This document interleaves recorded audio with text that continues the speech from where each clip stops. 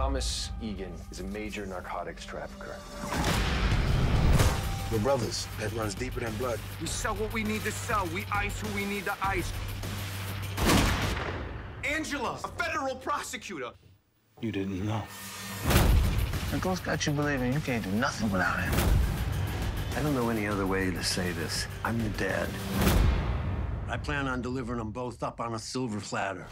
You can't trust him. He's family. He's been your family for 15 minutes. I've been your family your whole life. Teresi's a snitch. I got a plan. Tommy, you take care of him. I killed my father for you. You lied to my face. One more thing I gotta do.